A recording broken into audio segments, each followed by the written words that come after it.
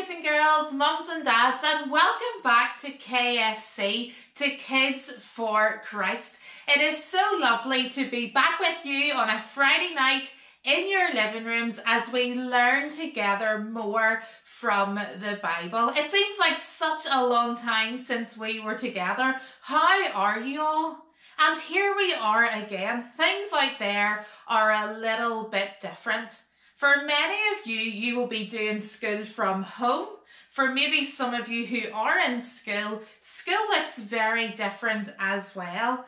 But I hope regardless whether you're homeschooling or whatever you're doing, that that's all going well. And here we are in a new year and we're back now for 2021 KFC. And I hope you're ready to learn so much more from the Bible. We have a really exciting journey ahead of us. Now, Christmas, boys and girls, seems like a really long time ago, doesn't it? But I wonder, can you remember back to the lovely toys that you got? Shout out some of the things that you got for Christmas. Wow, amazing. I'm sure you've had so much fun playing with all your toys. I'm sure you ate lots of turkey. I'm sure you even probably had lots of sweets and lots of chocolate. Hands up if you still have some left from Christmas. There's still some chocolate left in our house from Christmas. Maybe you even got to stay up late. Christmas is a wonderful family time. But boys and girls, Christmas was so much more than that. And that's what we were learning at KFC. What were we learning at Christmas time?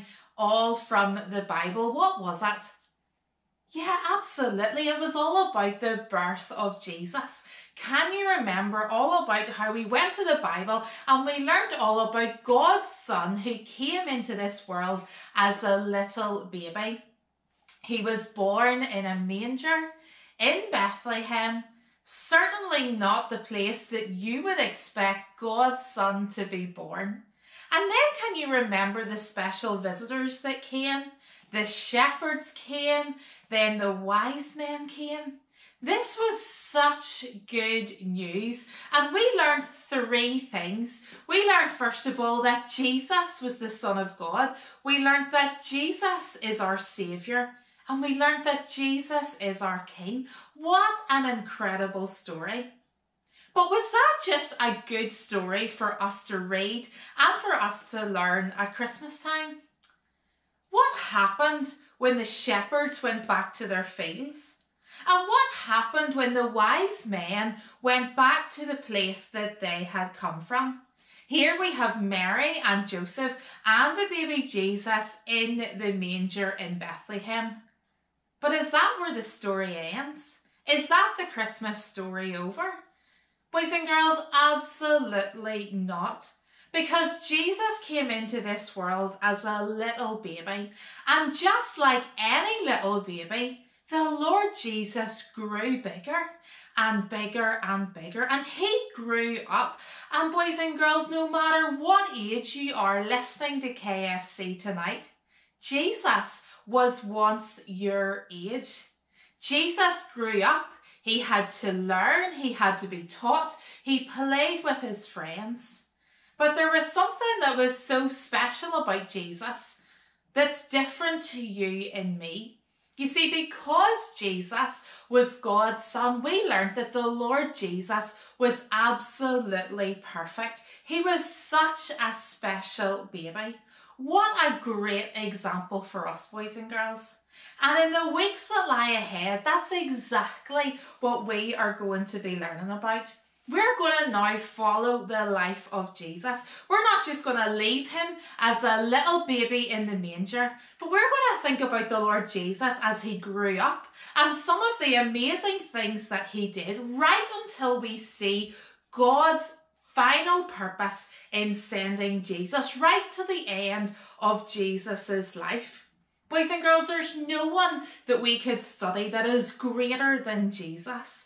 Jesus came into this world for such a special purpose and he is our greatest example. He is the one that we need to look to so that you and I can know how we are to live our lives. It's going to be so exciting. How amazing is it to learn from the greatest example of all? Listen to what the Bible says in the book of John, chapter 8 and verse 12. This is what Jesus said. Jesus said to the people, He said, I am the light of the world.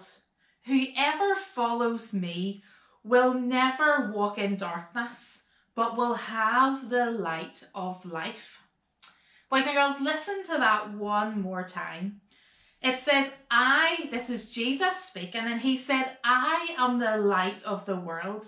Whoever follows me will never walk in darkness, but will have the light of life. So, what does all of that mean? Well, you see, boys and girls, because there is sin in this world, the Bible describes the world as being in darkness, without hope, and separated from God. But then Jesus came as that little baby that we learned about at Christmas. And we're going to learn how he grew up and how he said that he was the light of the world. Jesus came to bring light into the darkness of our world. Now, boys and girls, if I was to turn the lights off and it's completely dark, what can you see? Well, you can see nothing. Sure, you can't. You see, this is what our lives are a little bit like when we don't have Jesus, when we are not walking with Jesus.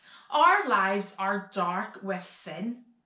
But if we turn on the lights, and we can see again, this is what Jesus is saying. He came into this world to bring light. He came into this world so that we, this verse says, will have the light of life.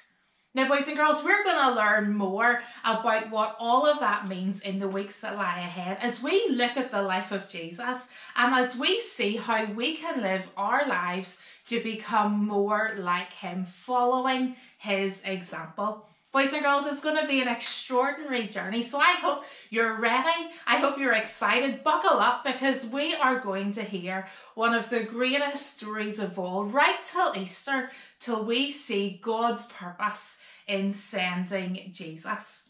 Now, tonight, what I want to do is to teach you a new song. And this is going to be a theme song for us as we go through these weeks. And it's all about that verse that we've been reading about how Jesus is the light. And this song is called He is the Light. So we're going to go through the words together and we're going to go through the actions together. And hopefully, I'm going to remember them so I can teach them to you. And then this week, you can be practicing this because we're going to sing it again next Friday night. So let's all jump up on our feet and learn this song together. So are you all up on your feet and ready to learn this new song? I hope you are, mums and dads included. So what I'm going to do is I'm going to go through each line and I'm going to show you the actions and then we'll put it all together to the music at the end. Now, I'm not going to sing it for you because you don't want to hear that, okay? But I'm going to tell you what the lines are and the actions and we'll see how much of this we can learn together. So the first line goes like this. Oh, oh, oh. Okay, so those O's we do a few times in this song, so that's just what we do in between the first couple of lines. And then it says, Jesus is the one who lights our way. So let's do the actions together. So Jesus is the one who lights our way. All right, so we do Jesus like this because remember Jesus was put on the cross and nails put into his hands. So we do Jesus is the one who lights our way.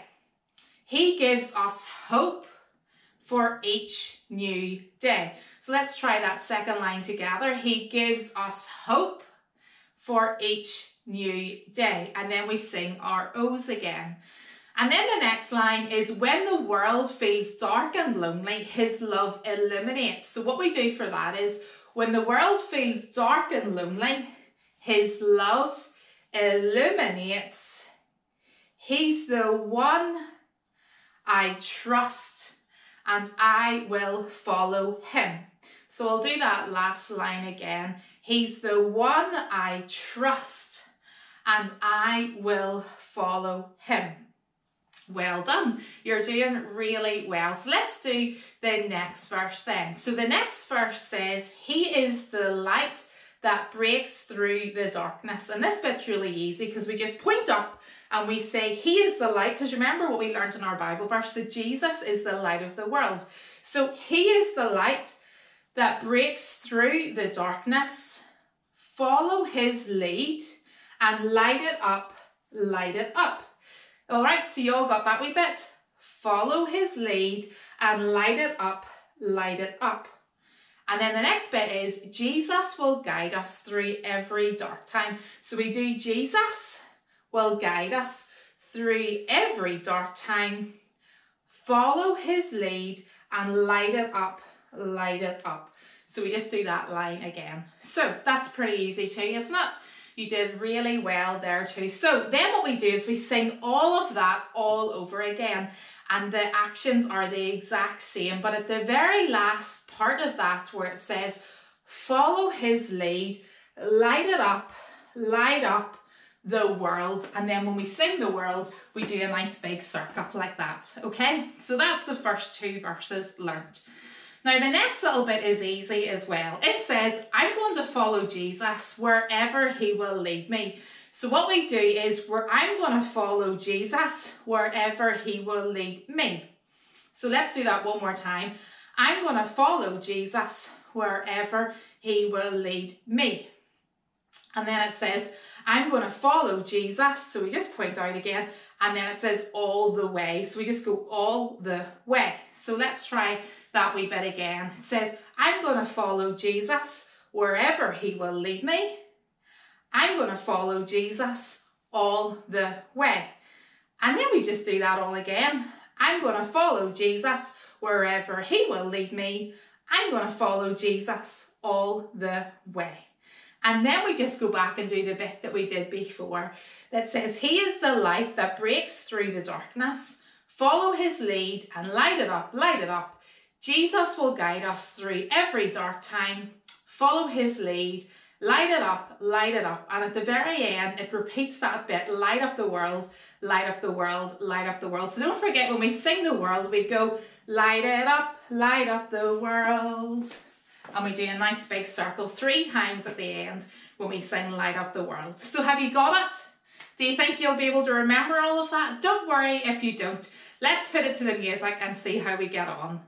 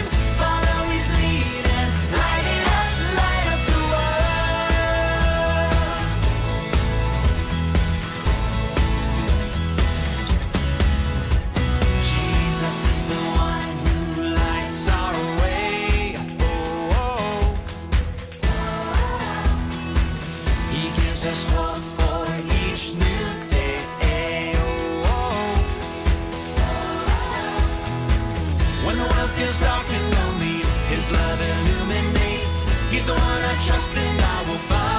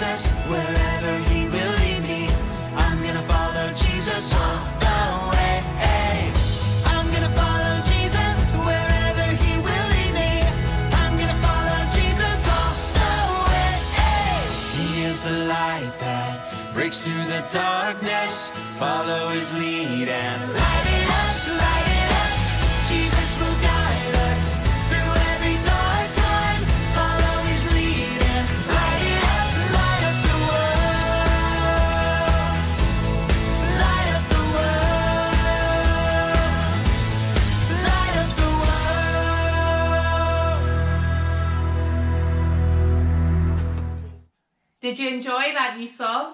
I hope you did. And don't worry if you didn't pick up on all of it because we're going to continue to do it each week that lies ahead. So by the end, you will know it really, really well. So I hope you're excited to learn more about the life of Jesus and about how he is the light of the world. And so next Friday night will be our official kickstart at seven o'clock. So I'm really looking forward to seeing you all then. But first of all, let me tell you about a few little changes.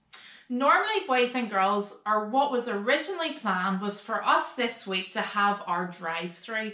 We all enjoy the drive through where we come and we get our buckets full of all the resources that we need for the weeks that lie ahead. However, just because of the current government guidelines, the lockdown restrictions, and the no unnecessary journeys, we've decided that it's not good and it's not wise for us to have a drive through in the coming weeks. So, unfortunately, we're going to have no drive through this week and there's going to be no buckets going out at the minute. However, when the restrictions lift a little bit, we will keep you posted and we will definitely have another drive through. But in the meantime, all of the resources on your activity sheets I'm still going to do them and post them online for you. So normally I would have printed them out to give you them in your bucket, but they instead will be online so that you can download them, you can print them out, you can look at them on your tablets or your iPads or your computers. So you will still be able to get those and each week as I send out an email, the link for those will be attached to the email. So you'll be able to go straight to those so that you can still do your family activities together. Things will be a little bit different, but that's okay. I'm going to set you challenges each week, which I'm really looking forward to seeing. And there's going to be a few more surprises along the way. So I hope you're excited. Don't worry that you're not getting a bucket just yet we will get them down the line, but for now, you can get everything that you're going to need for the next few weeks online. If you don't get the kids' email, please let me know. Send an email to the address that's on screen, Rachel Haffey at mazepc.org, and I will be able to get you added to that list so that you don't miss out on anything that is going out. So the final thing I want to do tonight, boys and girls, is tell you the challenge that I have for you this week.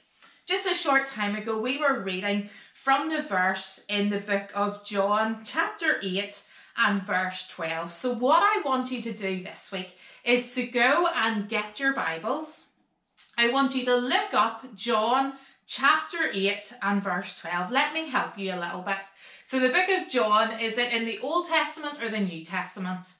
Well done, it's in the New Testament. And can we, maybe we could go through the first four books of the Bible together, could we?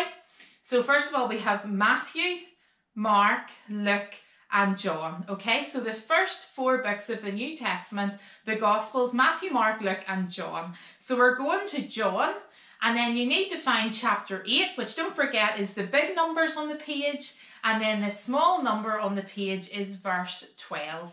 So that's the verse that we read out. And I want you to write out that verse and I want you to make it into a lovely, colourful poster that you can put up on your wall to remind you of that key verse that we're going to be thinking about right throughout KFC. So I want you to write out that verse in a lovely poster. You could do some nice fancy drawings or bubble writing and lots of colour. I would love for you to send me a picture of your posters up on your walls and then we will be able to show everybody them next week. So that's your challenge for this week. So look up your Bible, find John chapter 8 and verse 12 and make me a lovely poster of those words that Jesus said. Boys and girls, it's so lovely to be back with you and get started with you and your family. I hope you're excited as we journey with Jesus right till Easter time. And right now, all that's left for me to say is cheerio, and I will see you again next Friday night at 7 o'clock. If anyone has any questions in the meantime, please just let me know and I will help you out in any way I can. I hope you have a great week and I'll see you then. Bye!